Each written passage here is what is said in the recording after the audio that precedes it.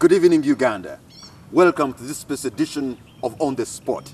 My name is Patrick Kamara. Tonight, my guest is a maverick general, a man who attended a prestigious military college, Fort Leavenworth in Arkansas in the United States.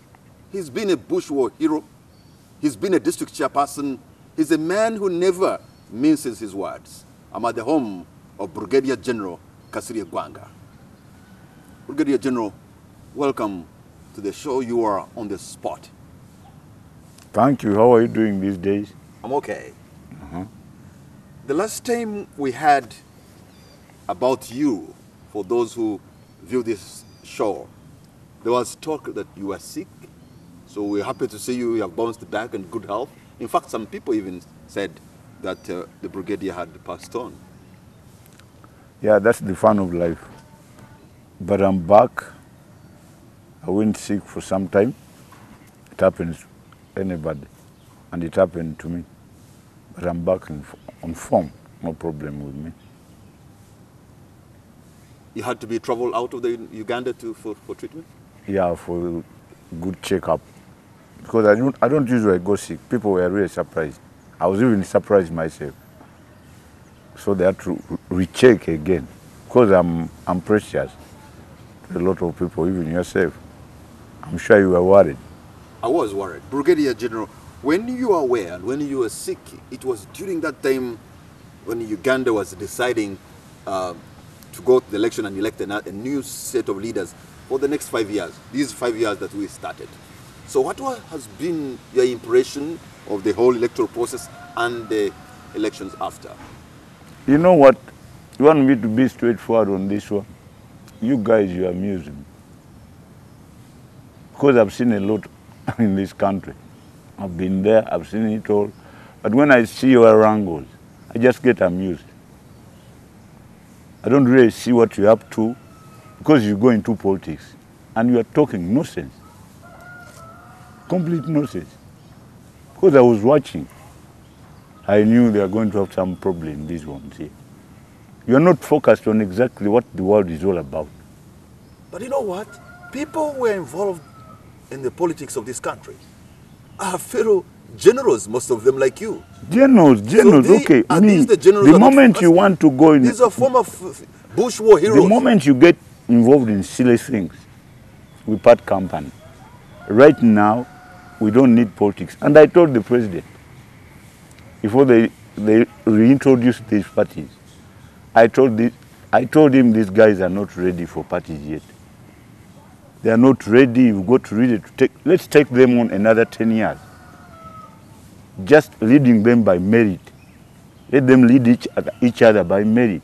But when you get So, them, Brigadier General, are you saying your colleagues in the military who are now in politics are engaging in something that you have called exactly, silly? Exactly. that Some of them even go-? Exactly. Those are silly games. Look at the social situation now in the country. Look at your economy. Look at the corruption. No one talks about agriculture. We are just venturing into things. Now I just had people complaining about these members of parliament, the new members of parliament, that they, they cannot even address the, the, the August House. They find it hard. I don't pity them. You know what you don't know, you people? Practice makes perfect. Most of these guys don't practice English. I've not been practicing that language. They're just getting back to form. But you have not given them even a chance. The only person I have I've seen working right now in this 10th parliament, you call it 10th parliament? Yeah. I've seen this man Katuntu, Abdul Katuntu. yeah, Abdu Katuntu. On this case of this lady who talked about goats and and what? The Honorable Margaret Muhanga. Yeah, that one. Katuntu went after her. They, went, they really went after her, and I understand they have re- restored it, the, the title. That is something good. Now I don't know who they are going after. UNRA. UNRA has got a problem. Now they are touching, they are touching. But the, the, the most sensitive thing they should think about is agriculture. You don't have food. But, but you see, at the beginning of this discussion, you said you actually do not believe that we could even have multi-party politics. Yeah, And this and that parliament You can see today, that parliament today, you seem to loud. today, is a product of multi-party politics. Excuse me, excuse me. You cannot tell me what to like and not to, not, not to like and not to like. I'm telling you, I don't like the way you people are running things here because I'm part and parcel. There is no discipline here. You don't respect people.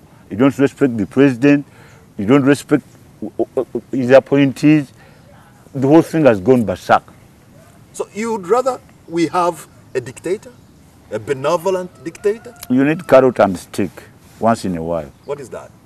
You know what I'm talking about. Carrot and stick. You want to tell so me? people should be beaten like General Kayihura No, that, don't do it that crude, crude way. Giving them whips No, all the time? some ways of doing things, not just doing it when you know this is a global village. Now Kayihura is on, on a hook because of that little exercise. He could have done it otherwise. And by the way, I had an idea. If they could only arrest those goons, because they call them goons, and I think they are goons, the way they behave, if they- they can just collect them together and take them into some camps and give them some work, pay them salary. Sir, the people who were beating Wananchi are not goons. These are these are police officers. I'm not a policeman. I've So- never been a policeman. I cannot talk for the policemen. If they are, they are told to beat people like that, I'm not going to talk for policemen. There's General Kayihura, is leading the police. You can put it on the carpet. So But who are, who, who are you saying Did you see an who are the- man who are- beating Who are the someone? goons in this case? the goons who are being beaten, what are you doing on the road shouting at people, abusing, throwing stones? They're going to kick your butt. So you got it wrong, sir, because I got nobody it was, wrong. Nobody was throwing stones. Oh, then my eyes. Sometimes, as you see, my eyes, I'm getting old. Maybe I saw, I saw something wrong. But I There was thought, nobody throwing stones. In fact, the people who beat up Wananchi were You and me know, Mr. who were Kamara. even taken for questioning Mr. by the Kamara, police standards unit. Mr. Kamara, you and me can really tell what exactly was going on in there. That was not a nice, properly demonstrating people oh, or people who are, you know, welcoming their what, their hero. You know, you don't have to shout to these motorcycles. Shout, they are driving them around, blocking the road. There are other people who are using. There are other people using the road. What about them? Do you think about it? And what do you expect these policemen to do? They also lose temper. They are young. And you, do you know where they recruit them from? Excuse me. Uganda. They're From where? Which part of Uganda? Some are from Katanga. I'm telling you, their background. Some are from Kasokoso. They're from everywhere. So you don't want to tell me that because they are putting on that uniform, it changes them. All of a sudden they get changed. So in your view, Katanga and Kasokoso is a hotbed of, of Yeah, the- not only that one. There are a lot of hotbeds around here. I know Kampala. You know Kampala. I've grown up here. There are some parts of Kampala where you cannot even walk, but where I can walk. So I know what I'm talking about. We are not dealing with, with simple people. We are dealing with people who are determined, who are being, you know, pushed on to do funny, funny, righteous things. And that's where I, I say people who deal with such people, I pity them. Let, let us go back on the issues uh, now affecting our country politically. You are colleagues. Economy. Yes, but let me let me take you. No, to no, your no, no, don't go sideways. That, that is where you people go wrong. What the problem here is the economy. Yes, the economy. Your colleagues who have aspired to lead have been in the army. Uh, people like uh, Colonel Kizza Besigye. We are people from like different, by the way, we are from yes, let me- different background. Yes, but you have all When we served talk in- about but you have all served in the uniform. they found me in You have all- uniform. you have all put on a Ugandan uniform. Exactly. My background don't allow me to engage in, in politics. That's what they told me. Me, I'm a soldier, period. I'm a number. Them, their way of, of life, the way they started, you know, playing with guns, allow it, they, they, they, they have the political background that took them the bush. Not so? Is it fair that they, They have, like politics. Is it right that they, every time they speak or express themselves, they are incarcerated? They are locked How? up? locked up. The way the, the approach is wrong. The moment you, you serve in the military, even if you leave the military, like basically left the military, you automatically in, you go into the reserve. So you have to, to have that, that discipline. You remain with it. Don't just go on shouting things just like that. Even swearing yourself as a president. All those games you're playing are a little bit annoying. That's why you get in problems, you guys. Uh, You're annoyed with your colleagues in the former colleagues in the army. Annoyed how? You're putting words in, You, you in my just mouth. say that the things he says or does are annoying. Yeah, they, anno- they annoy me being what, what I am. I'm not putting words in your mouth, sir. Yeah. This is what you've just Being. Kasirye Ggwanga, with my background, I saw Besigye when I found them in the bush. I'd already served in the army for more than eight years. I know what a disciplined officer should, how, how you should behave. Even if you have left the army, you've got to be, a, a colonel, by the way.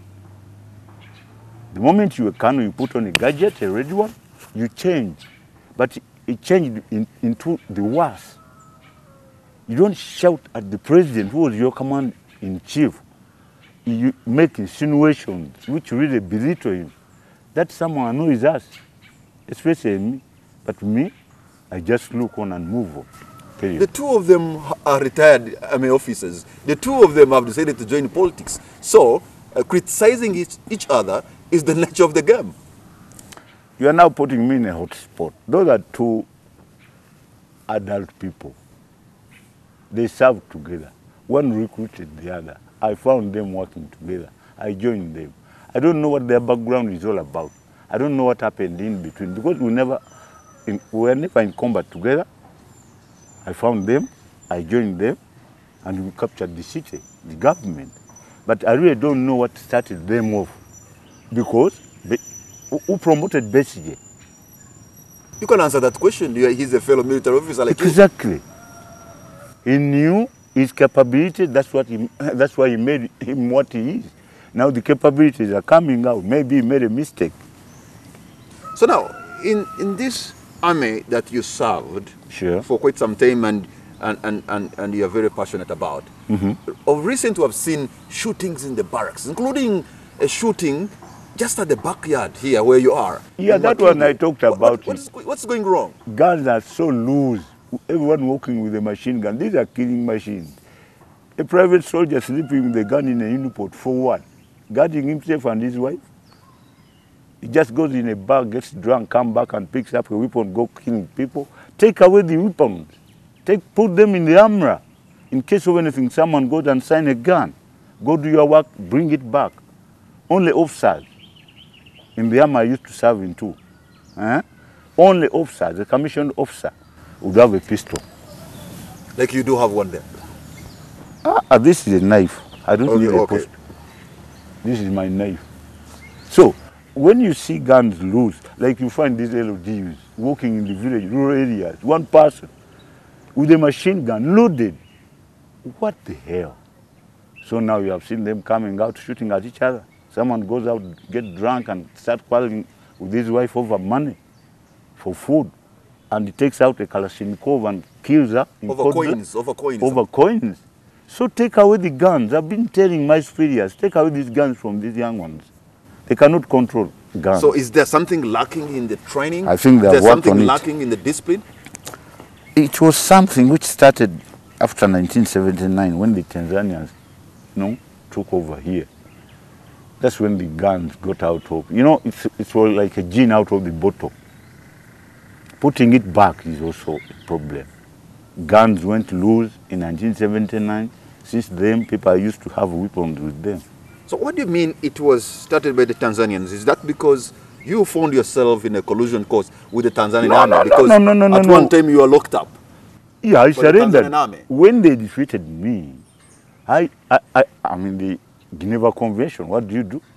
And they took me away. What, what happened You're a behind prisoner me? of war. Sure. What behi- uh, and I was away for 897 days. In those 897 days, things changed. The gin went out of the bottle. Guns went loose on the streets. So what do I have to do with that one? I, I don't have nothing against the Tanzanians, but I'm telling you that guns started going out of the armor into even civilian hands, and those which were picked. Why do you think people went for these muchaka muchaka so fast? Can you really? Do you think what? Why do you think they went for muchaka muchaka? You know, to demystify the gun. Because they had picked a lot of guns during the, these two wars. So they wanted to learn how to use them. The first thing we should have done when we came in, we start looking for guns, one by one. But sir, the people who are shooting are not civilians. The people who are shooting are those who are supposed to have guns.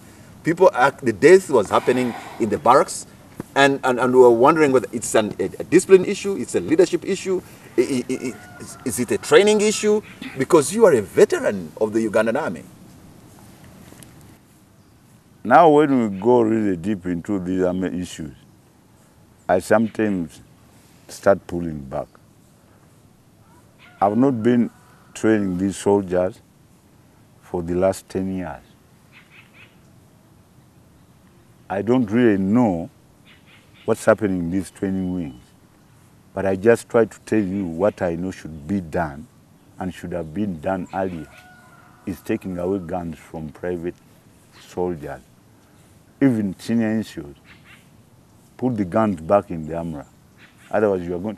This is not the first incident. There's a man I had who was drinking near Nakasero. There's a bar in Nakasero who also went home and picked up a weapon, came back and slaughtered people. It's been happening all around. And not only the army, even the police, even the security corps. There are so many guns in, you know, funny, funny hands. That's the problem we have. And you are going to have it with you. Guns are all over the place, even all over the world. You, you, you always trouble. I mean, you always struggle. Don't you see men at the airport like in Paris or London, you find people armed. These days, guns are the norm. Yeah, if they are in the hands of those who should have them, that's okay. But if they are in the hands of those who should have them and they are misusing That is them, what we should that's, that's address now. That's what they're addressing now. I'm sure it's being addressed. Lessons have been learned now. Brigadier General Kasirye Ggwanga, we're going to take a break and we'll be right back. Welcome back. You're still tuned to On the Spot. My name is Patrick Kamara and uh, my guest tonight, or should I even say I am a guest to Brigadier General Kasirye Ggwanga because we are coming to you from his home in Makindye. Brigadier General, the robberies have become enormous in this country. And sometimes uh, people choose, again, those who should be guarding us to get involved in the robberies. Accuse them of getting involved in this. I don't think I can really comment on that. You know, security of Kampala district is not under me. But me, my areas of operation, I don't have to see much. I don't see much robbery there.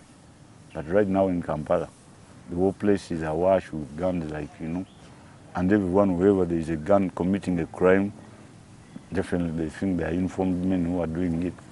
But you find you- you have what people call the chifesi, I don't know who the chief is. But then I hear about someone was telling me about a gentleman. To me, he doesn't look sinister, but what they talk about him is a little bit sinister. He's a man called Kitatta. He has a police at home guarding him. He has a rifle in his vehicle with a pistol. How does a man like Kitatta get a rifle? So that some of the people who have weapons, and anyway, when the moment they licensed guns, people buy guns, and I find a lot of people even flashing them in bars. So about robberies in Kampala, I don't think you should really blame it on the police or informed men that a lot of people have got guns in town. We don't even know where they get them from. Around the time when you were sick, Brigadier General, we saw some episodes where uh, how many people could even dare to take on uh, a, a UPDF detach in, in Gulu, take on a police station in the middle of Gulu town in broad daylight, and yet we are like, I'm yet Uh, really to, yet our security installations were really uh, feared. but some people were arrested. I saw some guys are in court over that incident. These days you can never wonder about such incidents. They're not new. They're new. Maybe they're new to you, but you can see like in Somalia, and then the security in the north. You know, we had a war for, for almost 20 years. So you've got a lot of people. Some of them left the bush and came back home. Some of them were disgruntled. Because me, I grew up in the northern region. I've got a lot of friends. So they sometimes come here. They are they're disgruntled. They- They say they are being sort of being left out. So you have those cases. So no wonder you find such incidences. But I I'm not worried about them really. You know, what is, I don't know what is special about Brigadier General Kasirye Ggwanga because you make political statements. You sometimes stand and criticize. Yeah. But you're never taken to jail. Some people say because you speak the language of the day that supports the regime, not necessarily to Yeah, I walk the talk. I brought in this regime. I came blasting bombs here.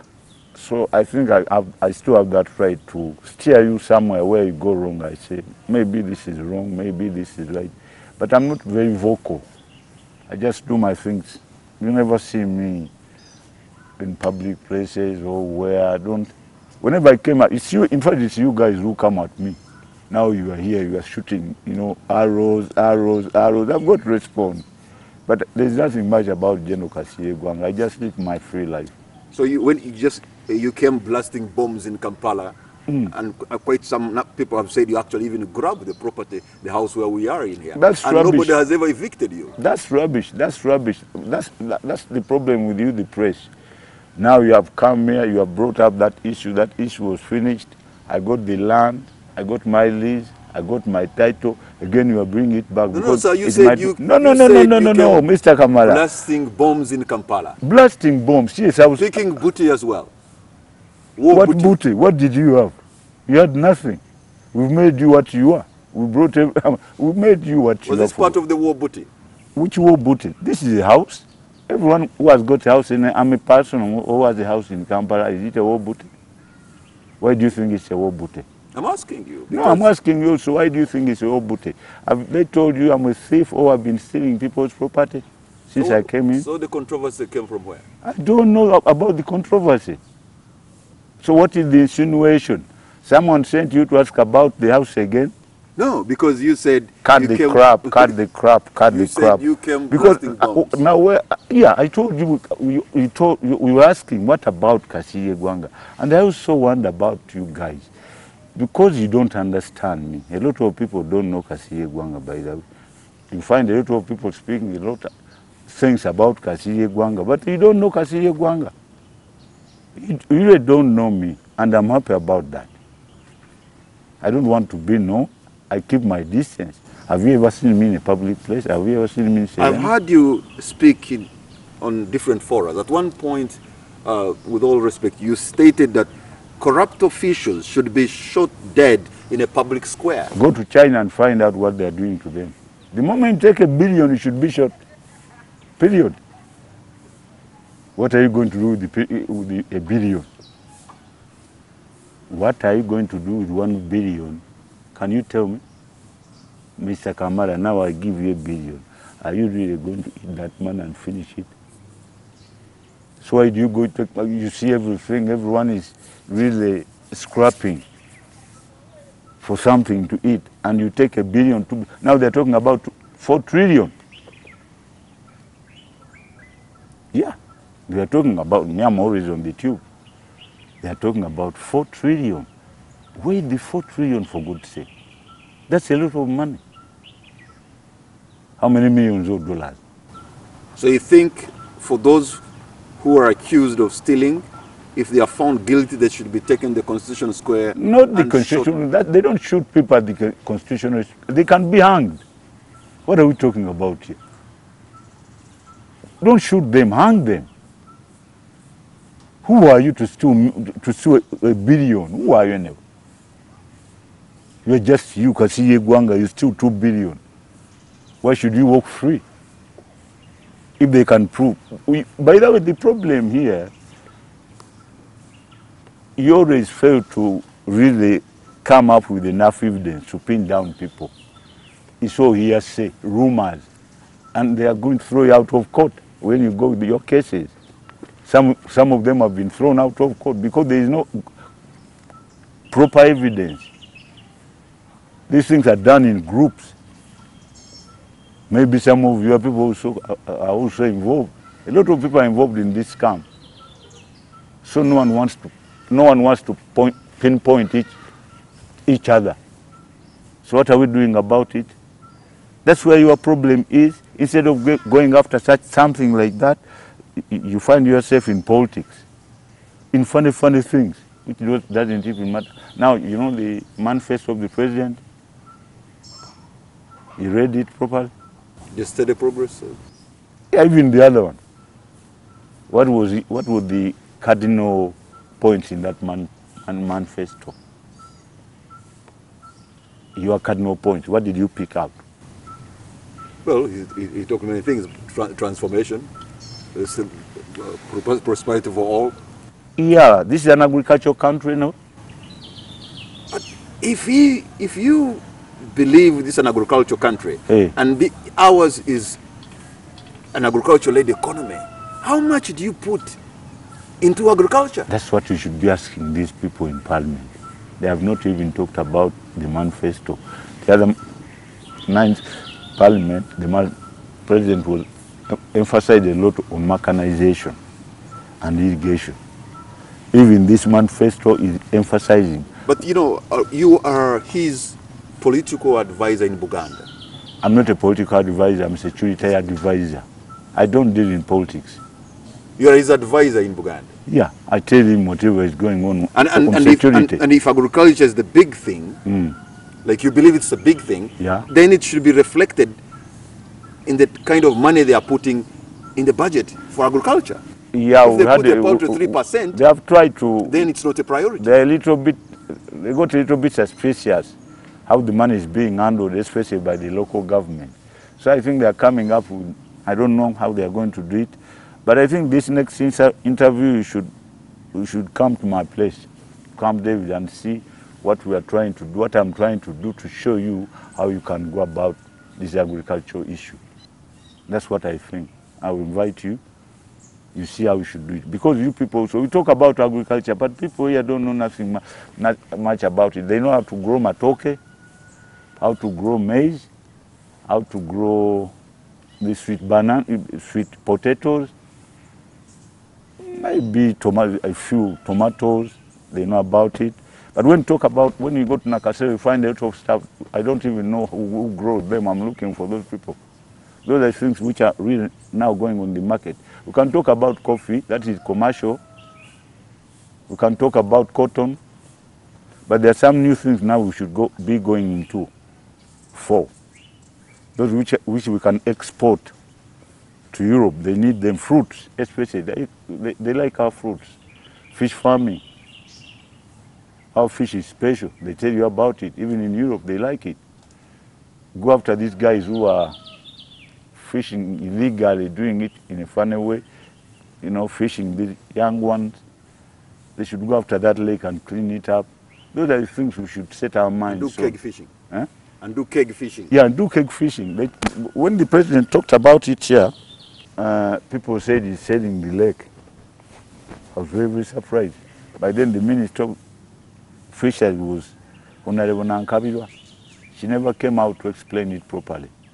But now, when you see people the way they go, they're doing fish farming now, if they can encourage them. The leaders, go after these leaders, especially the members of parliament. Okay, they always talk about uh, bakola mateeka making laws are they doing every session they go in there they talk about you know coming up with new bills they should go back when they I understand they're always fighting for this per diem they want to go out travel out they should get going lobby for help get some people to come in here the other time when this Israeli Prime Minister Netanyahu came here I thought something will come out of it. I haven't heard about it. But I think if we get the Jews here, agriculture will. So what, what, what at, at your level in, in what you call Camp David, what are you doing exactly? You see it there, I cannot explain it. You see it there uh, when you come in there. Because what I've done, I'm getting young men from different parts of the country, from the east, from the north. They come in here and they learn what I'm trying to, you know, come up with. But I can't try to explain it here. It's not a school. But there they, they are learning and they go back. The others come, they learn, they go back. Maybe one day. Okay, let, let, us uh, Brigadier General, let's go back to the issues probably which you're, you're more familiar with. Um, you know, our neighbors in the north, South Sudan, have been having problems, and uh, this time around, the UPDF or the Ugandan government decided not to intervene. Uh, we think that was a good move. Yeah, it was a good move. Those people will be fighting until I don't know how many years to come. When I went there in 1972, I fought in Anyanya 1. They used to spill over and we pushed them back. That was Lagu. In 1972, 1972, I was there. The young Uganda, in the in Uganda Uganda, yes, under Idi Amin. under Idi Amin. I was right on the border, Jali, after Moyo. Our company, where we had Chali company. So I know all about those people. They'll be fighting, fighting, fighting, fighting. So I don't have nothing much to say about them. Yeah, but uh, it's the only country where the trade uh, between us and, uh, and any other nation is in, in our favor. The trade balance is in our favor. So we have a lot of interest in that country. You know, I don't, I don't go in, in trade. I go into agriculture. I'll be producing food. If they buy it, I'll, if they don't buy it, I'll If, sell it if, if, somewhere. Brigadier General, if that market in South Sudan is worth $400 million a year, then Where- that is something, I, I don't see it. that's something big. I don't see it here. Where does it go? They've been trading with Southern Sudan for how many years now? Since when? Since CPA 2005, since the signing of the 2005. CPA. It's now 11 years. Where's the money? Where's the money? You say we have lost that what? That market. But what, what, what are we talking about?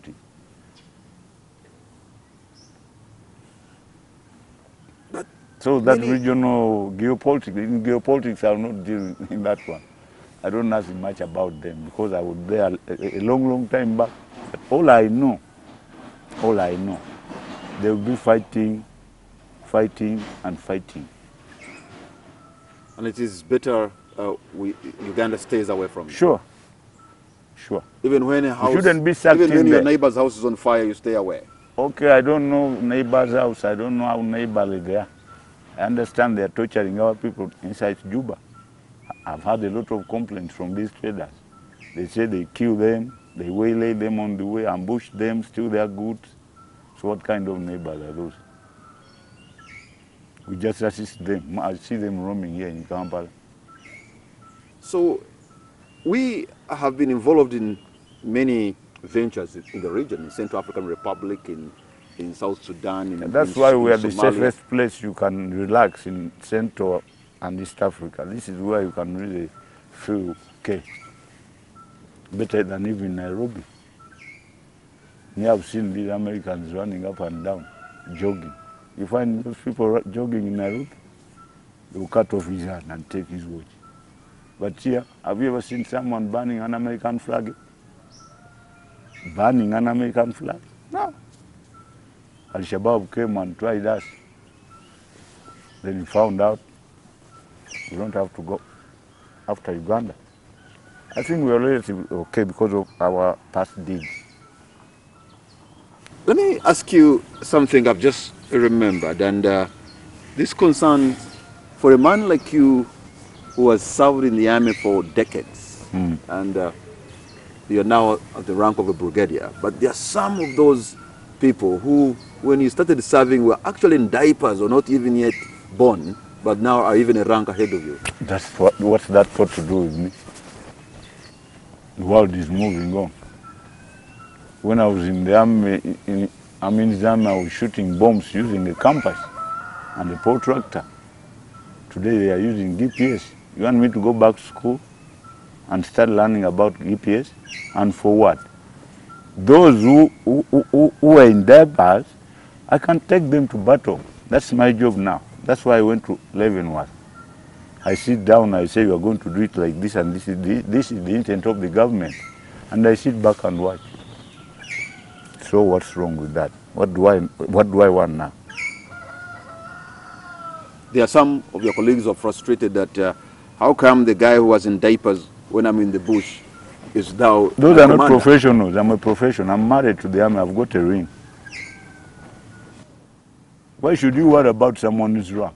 is doing his own job, and and you got your own job. Do, you, do yours properly, and the world moves on. When you see someone interested in ranks, especially I wonder about you, civilian, you talk a lot about civilian, uh, military ranks. What do you want? Someone asked you, I want to join the army. When am I going to be a captain? Idiot. Now they say, you know, this situation is about this young general, this uh, President Museveni's son, Brigadier General. Major eh, General Muhoozi. Major General Muhoozi. What's the problem? How old is he? He's over 40, isn't he? He should be. Yeah.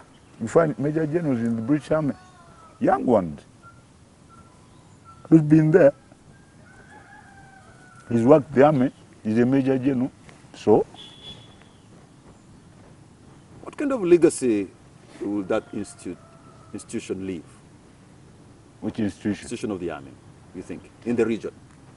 The institution, the army is not supposed to go away.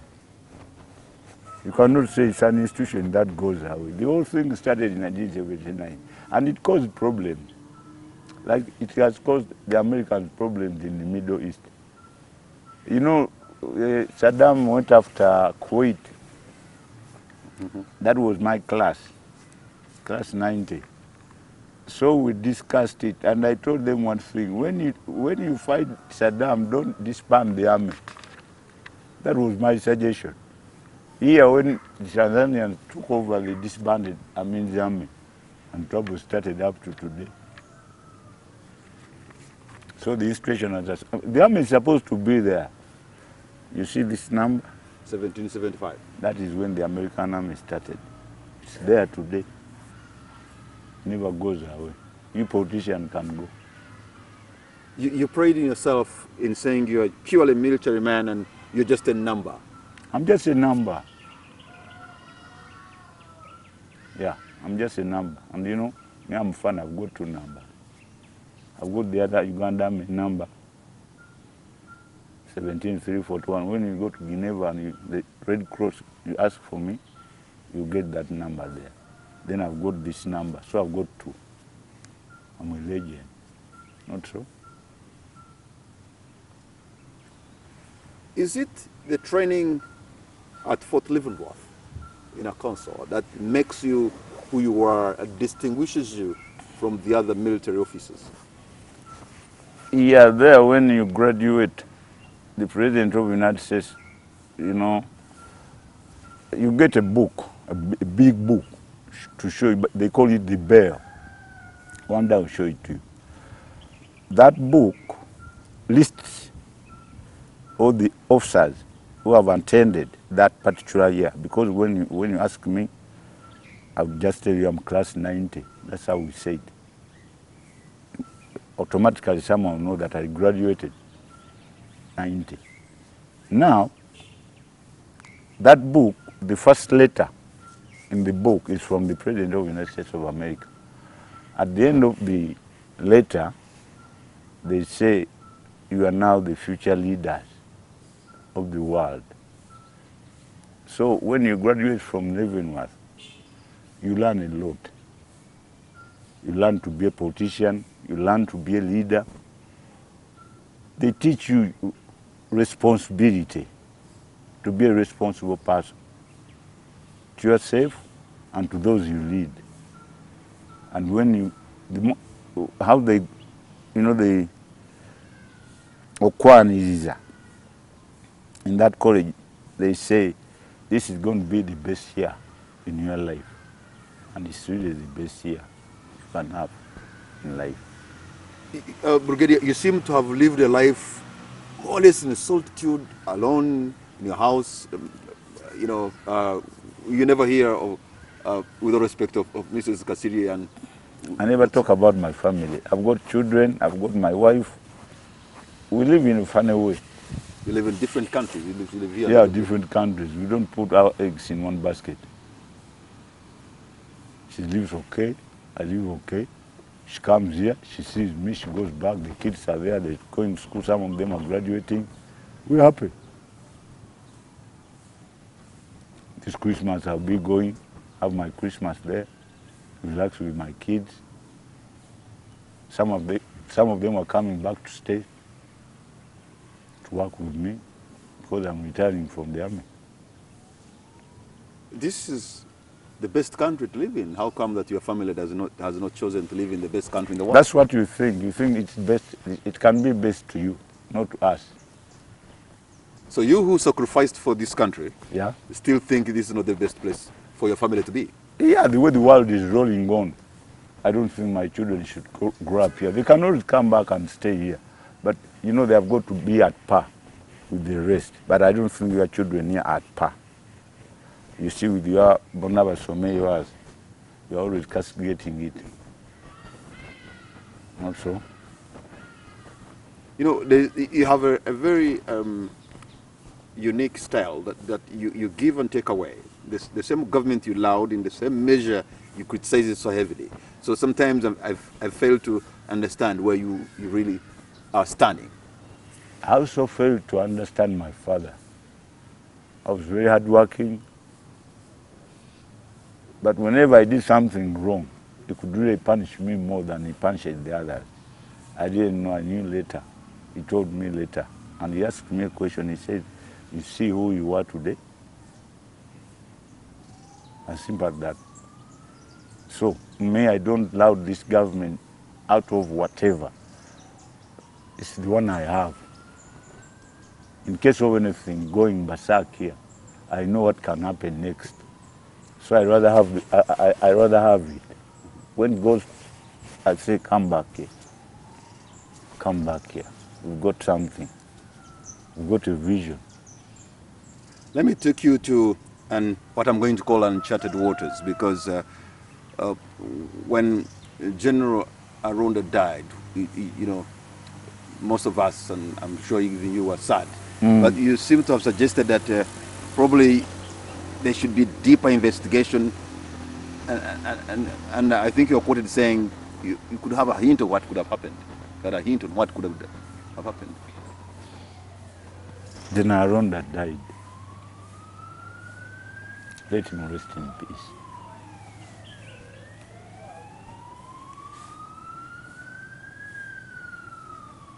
Let his family relax. He died.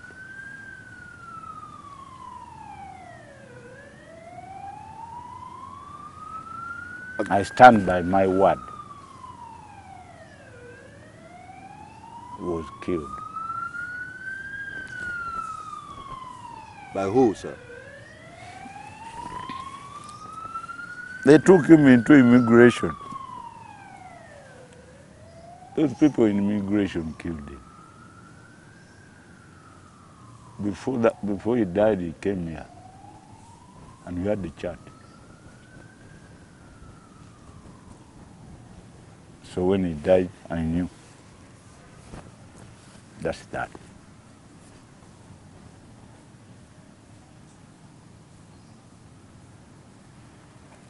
Brigadier, Brigadier General Kasirye Ggwanga, what is going to be your concluding remark on the show tonight?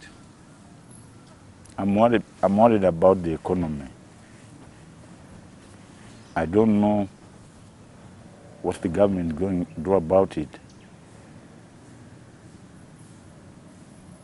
We should go mechanized.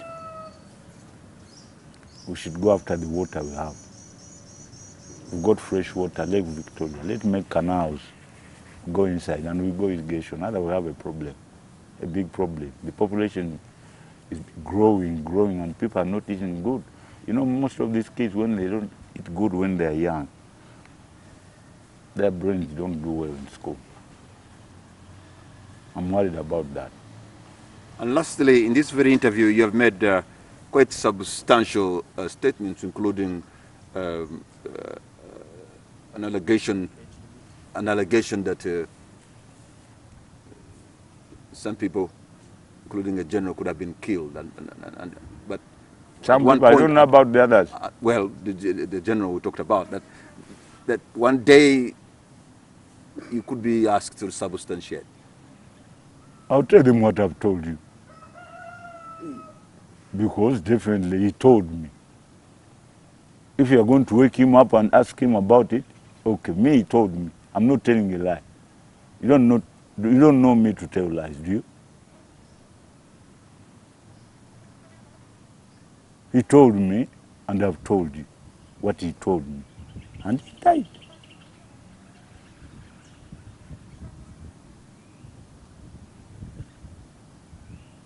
Twenty twenty one is almost four years away, and uh, our constitution has an age limit. Uh, you think the age limit should stay in the constitution? What age limit? That if you are 75, you shouldn't be, you shouldn't be president of Uganda. Who told you what is Uganda all about? Uganda? That someone cannot lead Uganda when he's over 75? What are we talking about here? We're talking about the constitution. A constitution, okay, we've been, you've been, you know, changing those constitu- that constitution several times. We can always change it and get out that age limit. It's just a little bit silly. You know, Ronald Reagan, former United States president. yeah. Do you know how old he was when he took over America? He was in his 70s. He was 74 years old. And you know who brought down the, the Berlin Wall? And you know Berlin Wall? The Cold War. Yeah. Eh? The man was, was over 74 and they shot him and he came back and did his thing. Major experiment we heard about them. He made America beefed, ag- be- beefed again. But, uh, but our president said in an interview actually with me that, that after 75, it is scientific. You don't have enough vigor. Uh, What to- to science move. is he talking about? I understand he, he did political science. Is he going to biology stuff to talk about anatomy of the person? I don't think he's, he's got that right. So you support, you would support the idea of a removal Yeah. of that Yeah. Article. Because I'm telling you, I'm not saying it because I'm on air or I'm on, on, on your show. I don't trust you people, I trust President Museveni. And when I say I don't trust you, believe me, I don't trust you. Because I know you. I've been with you when we captured power here in 1986. We've been together, I've been seeing you. I've seen all these ministers come and go, these politicians come and go. I know their backgrounds. So I'd rather be with that man for some time. Brigadier General Kasirye Ggwanga, thank you very much Thank you. for being on the show Thank you. tonight. And probably next time we come, we'll be at Camp David. Come, David. I want you there. Good night. Thank you. and God bless you, Uganda. You've heard the man who speaks without mincing his words. Today, he's made quite some statements that are heavy, but those are his words, and uh, he can defend his words. He can substantiate them. Trained at Fort Leavenworth, Brigadier Kasidi Gwanga is a soldier with a difference. Good night.